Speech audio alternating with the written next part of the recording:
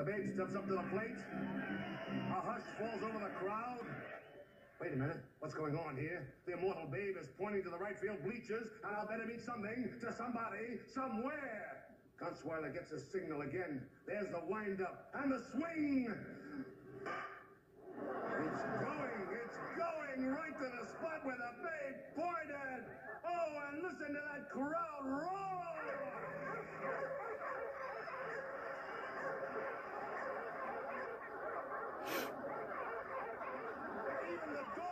Syria.